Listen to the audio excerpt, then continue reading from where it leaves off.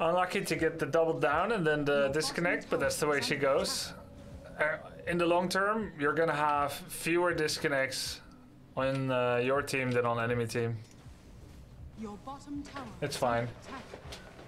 Ah, it's fine. You just have to remember when you have bad luck that you'll have good luck as often or more often.